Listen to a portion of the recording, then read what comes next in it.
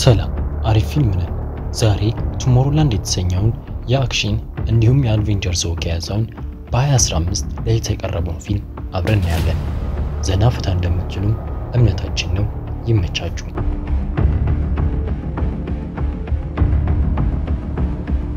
የፊልሙን ዋና ገጸ ባህሪ የያዙት ፍራንክ፣ ኬሲ፣ አቴኒ እና ኒክስ ናቸው። ፍራንክ ልጅ እያለ jetpack በመስራት ለኒክስ በማሳየት ውድቅ ሆኖበታል። ኬሲ ደግሞ ናሳ በመግባት ወደ ህዋ መሄድን ከልጅነቷ ጀምሮም ትመኛለች። ኤቴኒ ደግሞ ሮቦት ስትሆን የሰራትም ኒክስ ነው። ኒክስ ደግሞ የራሱን ዓለም የፈጠረ ሰው ነው። ፊልሙ ሲጀምር 1964 ፍራንክ ልጅ እያለ ኒውዮርክ ከተማ ውስጥ አንድ ወደ ተዘጋጀ የፊክስ ቴክኖሎጂ ፌስቲቫልም በመሄድ ስራውን ማሳየትን ይጀምራል። ፍራንክም የሰራውን ስራ ለኒክስ ማሳየትን ይጀምራል። ኒክስም በመገረም ማየትን ይጀምራል። ኤቴኒም አንተ ነህ የሰራው በማለትም ስትጠይቀው አዎ በማለትም ይመልስላቸዋል። ኒክስም ሰርቶልሃል በማለት ሲጠይቀውም አዎ ግን ትንሽ እንደሚቀረው ይነግራቸዋል። ኒክስም ሙሉ በሙሉ ሲሰራ ና በማለትም እንዳልተቀበለው ነግሮትም እንዲሄድም ያደርገዋል። አቴኒም ታዝናለች። በመቀጠልም ፍራንክ አዝኖ ቁጭ ብሎ ሳለ አባቱ ይናገረው ስለነበረ ክፉ ነገሮችን ማሰብ ይጀምራል። በዚህም መሃልም አቴኒ በመምጣት እኛ ጋር መምጣት የምፈልግ ከሆነ ተከተለን በማለትም የመግቢያ ፒንም ትሰጠዋለች። ፍራንክም እነሱን መከተልን ይጀምራል። የህፃን መጫወቻ ውስጥ በመግባትም ይከተላቸዋል። በዚህም አንድ ብርሃን ሲያርፍበትም ከልብሱ ላይ የተሰጠው ፒንም ያነብና ወደ ሌላ ክፍልም ያስገባዋል። አንድ በርም በመከፈት ውስጡ በመግባትም ወደ ሌላ ዓለምም ይወስደዋል። እዛም እያለ እነ አቴኒን ያያቸዋል። ፍራንክም ጠብቁኝ እያለ ወደ እነሱ ቢሮጥም ይሄዳሉ። ሮቦቶቹን በመምታት ስራቸውን እየሰሩ ሳለ ገፍትረውም ይጥሉታል። በዚህም ፍራንክ የሰራው ጀትባክም ይሰበርበታል። በዚህ ቢያዝንም አንድ ሮቦት በመምጣትም ጀትባኩን በመቀማትም የተሰበረውን መስራትና ማስተካከልን ትጀምራለች። በዚህም ፍራንክ ደስ ይለዋል። ሮቦቷም ሰርታ ስትጨርስም ትሰጠዋለች። በዚህም ሰዎች በመምጣት ሲያባሩትም ወደ ታችም ይወድቃል። ወደ መሬትም እየወደቀ እንደሆነም ይመለከታል። ጀትፓኩንም በማድረግም ከመውደቅም ይተርፋል። jetpack ኡንም አድርጎ መብረርን ይጀምራል። በዚህም ደስተኛ ይሆናል። በመቀጠልም እነ አቴኒንም ያያቸዋል። ወደ እነሱ ጋርም በመሄድ ይወርድና ኒክስ ጋር በመሄድም ሰርቷል ቢለውም ጥሎት ይሄዳል። አቴኒም እንኳን ወደ ቱሞሮላንድ በሰላም መጣ በማለትም ከተማውን ታሳየዋለች። ፊልሙም ሲቀጥል ከ50 ዓመት በኋላ ካሲ የምትባል ልጅ ናሳ ገብታ ወደ ህዋ የሚሄድ ፍቅሯ ስላልተሳካላት ጥሏት እንዳይሄዱ ናሳውን ሮኬት እንዳይሄድ mechanical part ኡን ልታቃጥለው ስትልም በጥበቃዎች ትያዛለች። በዚህም ትታሰራለች። አባቷን በመምጣትም ያስፈታታል። እቃዎችም ተመልሶ ሲሰጣትም የቱሞሮላንድ pin ም ትመለከታለች። ልታነሳው ስትነካውም ወደ ሌላ ማሳ ውስጥም እንደገባች አድርጎም ያሳያታል። በዚህ በመደናገጥም ትለቀዋለች። መልሳ ስትነካውም ድጋሚም ታያለች። በዚህም በወረቀት በማንሳትም ለአባቷ ብነግረውም እሱ ሲነካው ምንም እንደሌለም ይነግራታል። እሷም ግራ በመጋባትም ስትነካውም መልሳ ማሳ ውስጥ ሆናም ትመለከታለች። ለአባቷም የጮች ስታወራም አባቷን በመናደድም ይቀማታል። ማታ ላይም ኬሲ ከአባቷ ኪስ ውስጥም በመውሰድ እየነካችው ወደ አንድ ሰፊ ሜዳ በመሄድም ብትመለከትም በሀሳብ ወደ ቱሞሮላንድም ትገባለች። ኬሲ በምታየው ነገርም ትገረማለች። እሷንም እንደማያያትም ታውቃለች። ወደ ናሳም በመግባት አብራቸው ልበር ስትልም ህዋ ውስጥ እየገባች እንደሆነም ትመለከታለች። pin ኡም charger በመዝጋት ሳትበርም ይጠፋባታል። በዚህም በመናደድ ስለ pin ኡ በማጣራት የት ቻርጅ እንደሚደረግ በማግኘትም ወደ ሱቁም ትሄዳለች። ሱቁ ውስጥም በመግባት ፒኑን በማውጣት ታሳያቸዋለች። እነሱም ኬት እንዳመጣችውና ኬት እንዳገኘችውን ስጠይቋትም ያገኘችበት ቦታ ብነግራቸውም የሰጣት ሰው እንደሌለ ግን ትነግራቸዋለች። እነሱም ዝም ብለው ሊገኝ አይችልም አትዋሸኝም ይሏታል። እሷም አላቅም ብላ ልትሄድ ስትልም መሳሪያቸውን በማውጣትም ያስፈራሯታል። ከውጪም ቦምብ በመወርወር ሲፈነዳም ሰዎቹ ማጣበቂያ ውስጥ ይገባሉ። አቴኒም በማምጣት በፍጥነት መሄድ አለብን በማለትም ሊወጡም ሲልም ሰዎቹ ከማጣበቂያ ውስጥ በመውጣት ከአቴኒ ጋር መደባደብን ይጀምራሉ።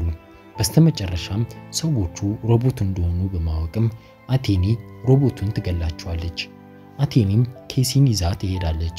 ኬሲም ማን እንደሆነች ስትጠይቃትም አቴኒ እንደምትባልና ፒኑን እንደሰጠቻት እንደሆነም ትነግራታለች። ኬሲም መኪናውን በማስቆምም ወርዳ ልትመለስ ስትልም አቴኒ ለረዳሽ ነው የመጣሁት በማለት ብትነግራትም አቴኒን መኪና ይገጫታል። ገጪውም ልጅ ገጨው በማለትም በመደናገጥ በመውረድም ወደ አቴኒ ሲሄድም ኬሲ መኪና ውስጥ በመግባትም ትታቸው ትሄዳለች። አቴኒን በመነሳትም እየሮጠች መኪና ላይ ዘላ በመውጣትም ታስቆማታለች። በህይወቷ ስትመኝ የነበረውን ነገር እንደምትሰጣትና እንደምታምናት ትነግራታለች። ፊልሙም ሲቀጥልም መጓዝን ይጀምራሉ። አቴኒም ወደ አንድ ቦታ ልስወጥሽ በማለትም ይዛት ትሄዳለች። በመሄድ ላይም ሳሉ ኬሲ ለምን ግን እኔ መረጥሽን ብላ ፒኑን ለምን እንደሰጠቻትም ትጠይቃታለች። አቴኒም ከሁሉም ለየት ስለምትይ ነው በማለትም ትነግራታለች። አንዴ እዚህ ጋር ላቋርጣችሁ። እዚህ ድረስ ቪዲዮን ካያችሁት ተመችቷችኋል ማለት ነው። ታዲያ ለምን like አታደርጉም? እኛንም ማበረታታት የምትፈልጉ ከሆነ ልታደርጉልን የምትችሉት like እና subscribe ማድረግ ብቻ ነው። ታሪኩን ስላቋረጥኳችሁ በጣም ይቅርታል። በመቀጠልም ከ50 ዓመት በፊት ከፍራንክ ከሚባል ልጅ ጋር ስለተዋወቀችበት አጋጣሚና ስለነበራት ግንኙነትም ትነግራታለች። ኬሲም ከእንቅልፏ ስትነቃ አንድ ሰው በር ላይ ራሷን ታገኛለች። ወደ በሩም በመሄድ በማንኳኳት በሩ እንዲከፈትላት እየጮኸች መጣራትን ትጀምራለች። እንደማይከፈትላትም ሲነግራትም pin ታሳየዋለች። ከበሩ ላይም በሞገድ በመመታት ከበሩ እንድትለቅም ያደርጓታል። ፍራንክም ከቤቱ በመውጣትም pin ኡን በማንሳትም ከየት እንዳገኘችው ይጠይቃታል። ኬሲም አቴኒ የምትባል ትንሽ ልጅ እንደሰጣቻትና አንተ ጋር ፍራንክ ብላ በመጣራትም እንደላከቻት ትነግራታለች። ወደ መጣሽበት ሂጂ በማለትም ጥሏትም ወደ ቤቱ ይገባል። ማታ ላይም ቤት ውስጥ ገብታም ያያታል። እንድትወጣም ይነግራታል። ምንም ነገር ቢፈጠር እንደማትወጣም ትነግረዋለች። እሱም ምንም ነገር ቢፈጠር እንደማይነግራትም ይነግራታል። በስተመጨረሻም ካነገራት በስተቀር እንደማትወጣ ሲረዳም ዓለም የምትጠፋበትን ቀን እና አንቺ የምትሞችበትን ቀን ማወቅ ትፈቅያለሽ በማለትም ይጠይቃታል። እሷም በጥያቄው ግራ በመጋባትም ጥያቄው እንዳልገባትም ስናግረውም ሰዎች ወደ ቤቱ እየገቡ እንደሆነም ይመለከታል። ከአንዱ ጋርም መደባደብ ሲጀምርም ሮቦት መሆናቸውን ይረዳል። በመቀጠልም አንደኛው ሮቦት በዘረጋው ኤሌክትሪክ ይዞትም ይሞታል። ቀጣዩም ያለው ሮቦት እየተሰኮሰባቸውም ሲመጣ መሬቱ እንዲከፈት በማድረግም መሬቱ ውስጥ እንዲገባም ያደርጋል። ሌሎችም ሮቦት ፍራንክና ኬሲ ማባረር ሲጀምሩም ሮቦቶቹ ሌዘር ውስጥ በመግባትም ይቆራረጣሉ። ከፊት ለፊታቸውም ሌሎች ሮቦት ሲመጡም ማግኔቱን በማብራትም ሮቦቶቹ ግድግዶቹ ላይ እንዲለጠፉም ያደርጋሉ። ሮጦም ሻወር ቤት ውስጥ በመግባትም ገንዳው ላይ በመተኛት ተተኩሰውም ይወጣሉ። በመቀጠልም ወደ አንድ ከቤቱ ቅርብ ወደ ሆነው ውሃ ውስጥም ያርፋሉ። ከውሃውም ጋር እየወጡ ሳለ አቴኒ በመምጣትም ፍራንክ ከብዙ ዓመት በኋላ ስለተገናኘን ደስ ብሎኛል በማለትም ጉዞን ይጀምራሉ። በመቀጠልም ወደ አንድ ፍራንክ በድብቅ ወደ ሰራው ከአንድ ቦታ ወደ ሌላ ቦታ መጓዣ ውስጥ በመግባትም ወደ ፈረንሳይ ፓሪስ ከተማም ይሄዳሉ። ኬሲም ከታወሩ ላይ ስትወጣም ፈረንሳይ መሆኗን ትመለከታለች። በዚህም ትገረማለች። ወደ ውስጥም በመግባት ከታወሩ ውስጥ ሮኬት እንዲወጣም ያደርጋሉ።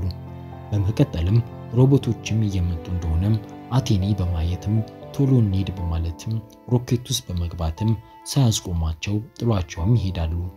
ከምድርም በመውጣት ሌላ የዓለም ሞገድን በመክፈትም ወደ ቱሞሮላንድም ጥሰውም ይገባሉ።